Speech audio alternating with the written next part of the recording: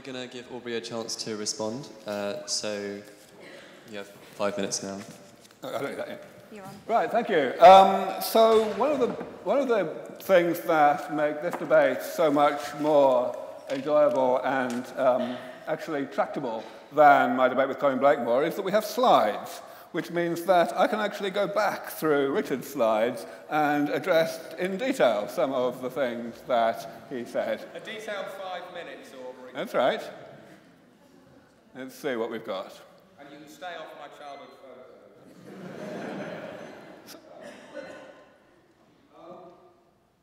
Let me just start with the things that, this will do, this will do. Um, uh, so first of all, this is just a misstatement of the um, assumptions of longevity escape velocity.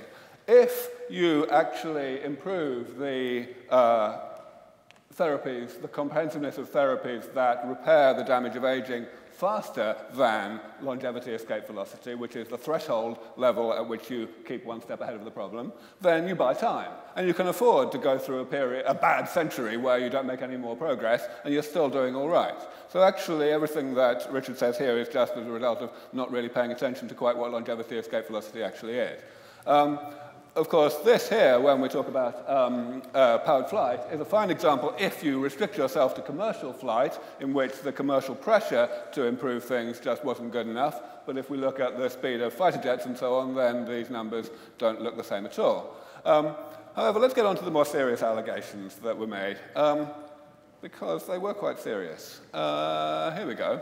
We Um, did say when we had disagreed, we'd really disagree. Right, right. So um, I did indeed write this statement at the top. I uh, said that, that gerontologists, a large number of senior researchers, had been engaging in a serious distortion of facts. Now, strictly speaking, I didn't say that they didn't believe what they were saying, which was what Richard um, uh, accused me of, of saying. I think that in, in many cases they genuinely did believe what they were saying, but I think that this was still appropriate language because I think that their belief was culpable. Their belief was so unreasonable that it could not be justified.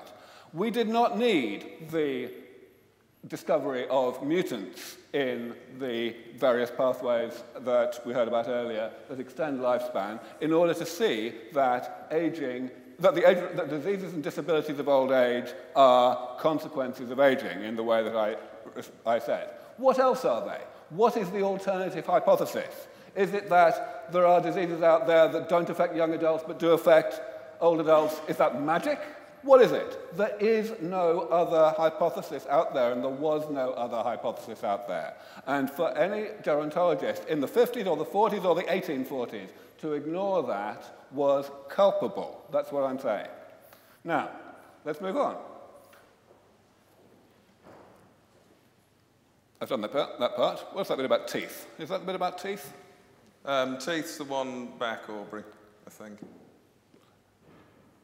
Yeah.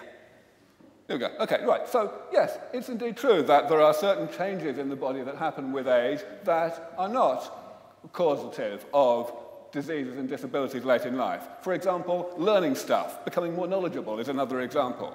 That's why many gerontologists prefer to use the word senescence to describe the bad subset of the changes that happen during life.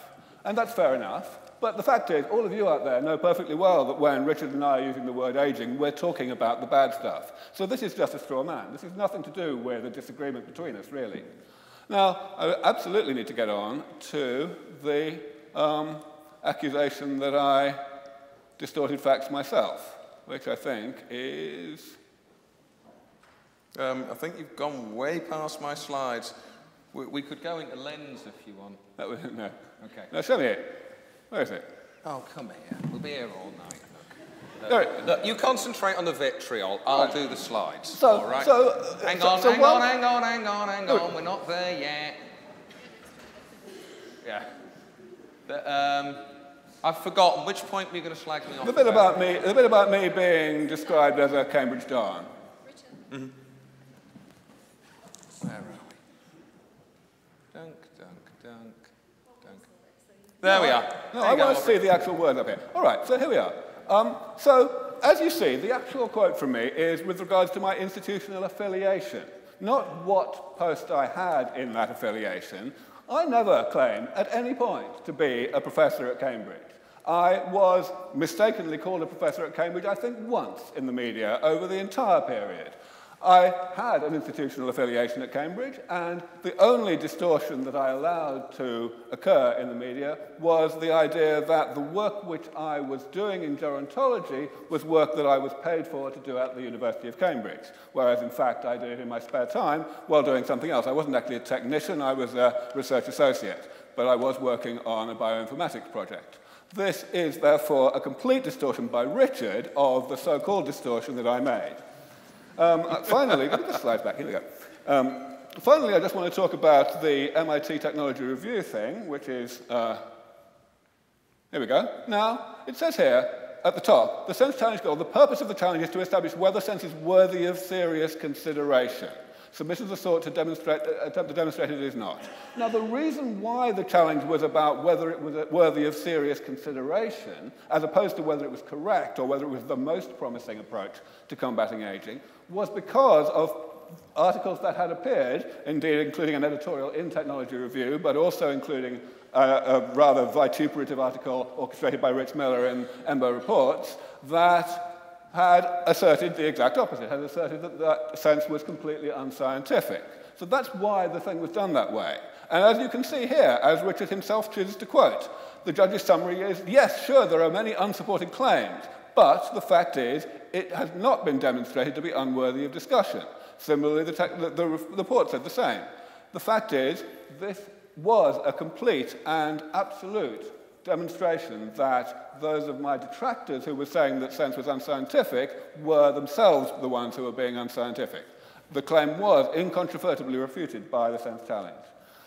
In general, the final claim I want to make is with, rela with relation to this sort of thing. Richard is a basic scientist. He's a biologist. He's not a biomedical researcher. His work is fundamentally curiosity driven. He understands how to test hypotheses. He's very good at it. He is not a goal directed medical researcher. He's not a technologist. I'm a technologist.